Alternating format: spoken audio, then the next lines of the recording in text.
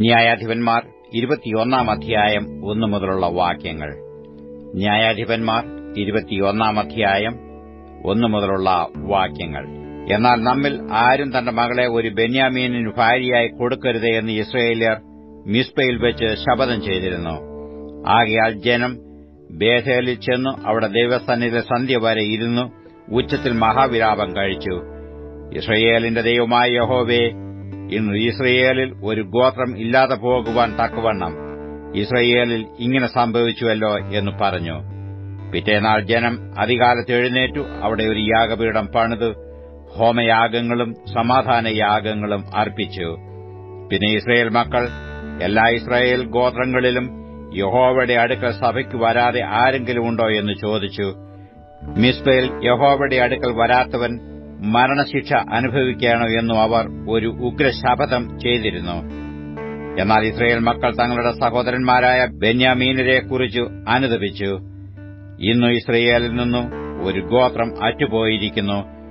ശേഷിച്ചിരിക്കുന്നവർക്ക് നമ്മുടെ പുത്രിമാരെ ഭാര്യമാരായി കൊടുക്കരുത് എന്ന് നാം യഹോയുടെ നാമത്തിൽ സത്യം ചെയ്തിരിക്കൊണ്ട് അവർക്ക് ഭാര്യമാരെ കിട്ടുവാൻ നാം എന്തു ചെയ്യേണ്ടു എന്ന് പറഞ്ഞു. ഇസ്രയേൽ ഗോത്രങ്ങളിൽ നിന്ന് മിസ്ബയിൽ യഹോവയുടെ അടുക്കൽ വരാതെ ആരെങ്കിലുമുണ്ടോ എന്നു അവർ അന്വേഷിച്ചപ്പോൾ ഗിലയാദിലെ യാബേശിൽ നിന്നും ആരും പാളയത്തിൽ സഭയ്ക്ക് വന്നിട്ടില്ല എന്ന് കണ്ടു.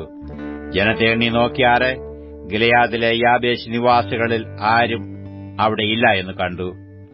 അപ്പോൾ സഭ പരാക്രമശാലികളായ പന്തീരായിരം പേരെ അവിടേക്ക് അയച്ചു. അവരോട് കൽപ്പിച്ചത് നിങ്ങൾ ചെന്ന് ഗിലയാദിലെ യാബേശ് നിവാസികളെ സ്ത്രീകളും പൈതങ്ങളും ഉൾപ്പെടെ വാളിന്റെ വാഴ്ത്തലയാൽ കൊല്ലുകയും അതിൽ നിങ്ങൾ പ്രവർത്തിക്കേണ്ടത് ഇവണ്ണം സകല പുരുഷന്മാരെയും പുരുഷനോടുകൂടെ ശയിച്ച സകല സ്ത്രീകളെയും നിങ്ങൾ നിർമൂലമാക്കണം.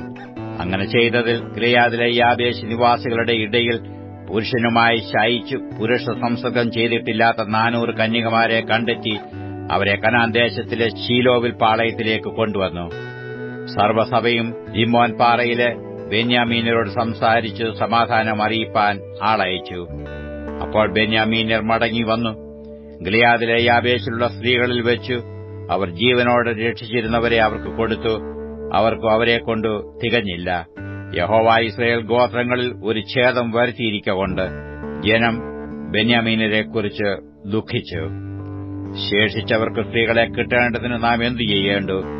ബെന്യാമീൻ ഗോത്രത്തിൽ നിന്ന് സ്ത്രീകൾ അറ്റുപോയിരിക്കുന്നുവല്ലോ എന്ന് സഭയിലെ മൂപ്പന്മാർ പറഞ്ഞു. ഇസ്രയേലിൽ നിന്ന് ഒരു ഗോത്രം നശിച്ചു പോകാതിരിക്കേണ്ടതിന് ബെന്യാമീനരിൽ രക്ഷപ്പെട്ടവർക്ക് അവരുടെ അവകാശം നിൽക്കണം. എങ്കിലും നമുക്ക് നമ്മുടെ പുത്രിമാരെ അവർക്ക് ഭാര്യമാരായി കൊടുത്തുകൂടാ. ബെന്യാമീനർക്ക് സ്ത്രീയെ കൊടുക്കുന്നവൻ ശപിക്കപ്പെട്ടവൻ എന്ന് ഇസ്രയേൽ മക്കൾ ശപഥം ചെയ്തിരിക്കുന്നുവല്ലോ എന്നും അവർ പറഞ്ഞു.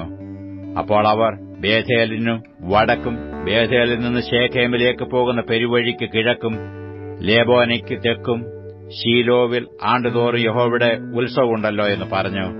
ആകയാൽ അവർ ബെന്യാമീനരോട് നിങ്ങൾ ചെന്നു മുന്തിരിത്തോട്ടങ്ങളിൽ പതിയിരിപ്പീൻ ഷീലോവിലെ കന്യകമാർ നിരനിരയായി നൃത്തം ചെയ്യുവാൻ പുറപ്പെട്ടു വരുന്നത് നിങ്ങൾ കാണുമ്പോൾ മുന്തിരിത്തോട്ടങ്ങളിൽ നിന്ന് പുറപ്പെട്ടു ഓരോരുത്തൻ ഷീലോവിലെ കന്യകമാരിൽ നിന്ന് ഭാര്യയെ പിടിച്ച് ബെന്യാമീൻ ദേശത്തേക്ക് പൊയ്ക്കൊള്ളുവീനെന്ന് കൽപ്പിച്ചു.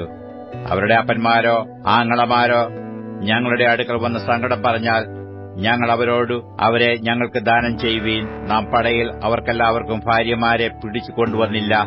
നിങ്ങൾ കുറ്റക്കാരാകുവാൻ നിങ്ങൾ ഇക്കാലത്ത് അവർക്ക് കൊടുത്തിട്ടുമില്ലല്ലോ എന്ന് പറഞ്ഞുകൊള്ളാം. ബെന്യാമീനർ അങ്ങനെ ചെയ്തു.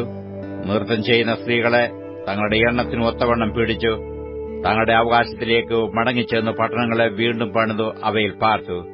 ഇസ്രയേൽ മക്കളും ആ കാലത്ത് അവിടം വിട്ട് ഓരോരുത്തൻ താന്താന്റെ ഗോത്രത്തിലേക്കും വീട്ടിലേക്കും പോയി. അങ്ങനെ അവർ അവിടം വിട്ട് ഓരോരുത്തൻ താന്താന്റെ അവകാശത്തിലേക്ക് ചെന്നു. ആ കാലത്ത് ഇസ്രയേലിൽ രാജാവില്ലായിരുന്നു. ഓരോരുത്തൻ തനിക്ക് ബോധിച്ചതുപോലെ നടന്നു.